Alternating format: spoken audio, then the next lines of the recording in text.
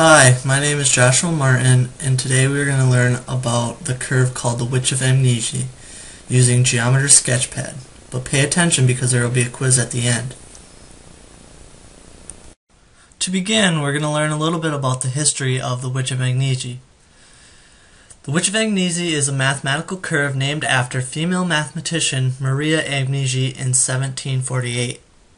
The curve was discovered in Maria's book, which is the first surviving mathematical work written by a woman. The reason for the name witch is because of a mistranslation of the word versiera, or turning curve. This curve was also studied by famous mathematicians Fermat and Guido Grandi. Maria worked on the curve for 10 years and she helped bring calculus to the general use so she was an important mathematician. This is a picture of Maria on the right. What does the curve look like? The curve looks like this red line that turns about this circle. This is the Witch of Agnesi. How would we construct this curve using Sketchpad? Well, first we need to define the coordinate system. Next, we plot a couple of points to form a circle around at 0, 1 and 0, 0.5.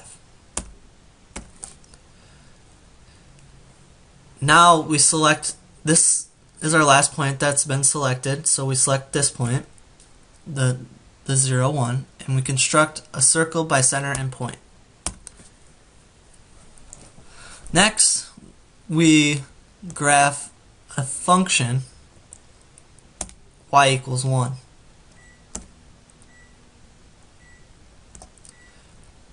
Then we form a line on that. Next we put a point on the circle. It can be anywhere on the circle. I'm going to select right there. Then from this point in that point, we construct a line. We place a point at the intersection of the two lines.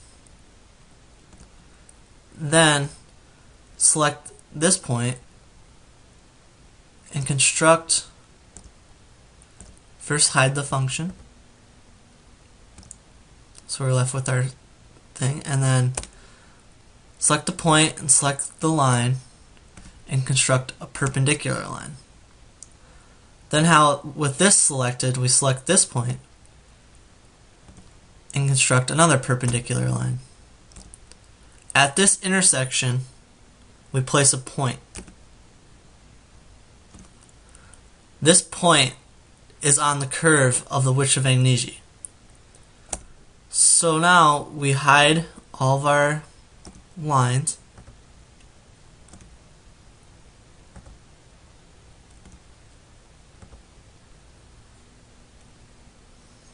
Except for that last one, we don't hide that one.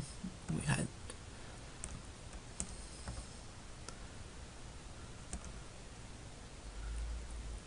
Now select this point and trace the intersection.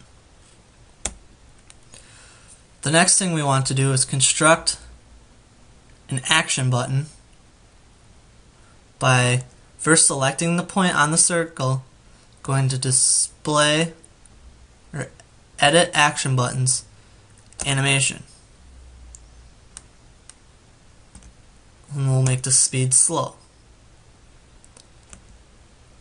So now when we animate our point, we can see that the curve is now made